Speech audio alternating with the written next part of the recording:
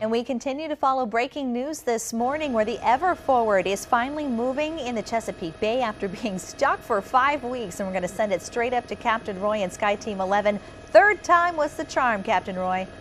Oh, yeah, I hear you. I mean, they had several things going for them. The winds were uh, in their favor yesterday when uh, they were still doing their dredging and offloading the uh, containers. And then today they had seven, seven tugboats that they used to pull it free. Once they got it freed, they ended up bringing it southbound on the bay, just south of the Chesapeake Bay Bridge, to where there is a, if you want to call it, a parking area, a mooring area for large vessels as they wait their turn to get up into the inner harbor.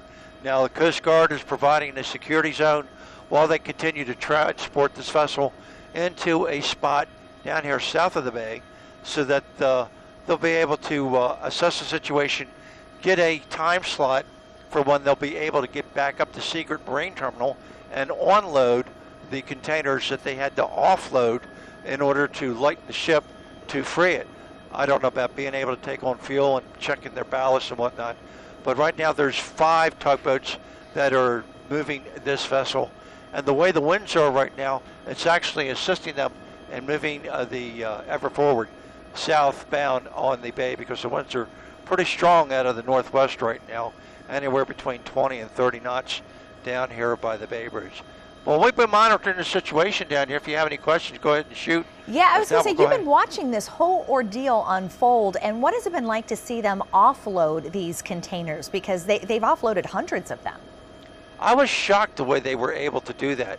I mean, you look at Seagirt Marine Terminal and the type of cranes that they have to unload these vessels uh, with all these containers and then they were very methodical, taking one container at a time, so to speak, and just putting it on a barge. And they didn't stack them on the barge.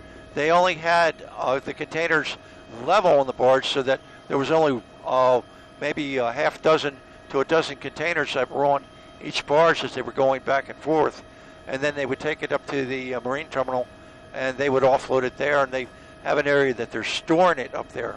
But it was just they had you know, two cranes that they were working, sometimes three, to uh, get the uh, containers off the ship.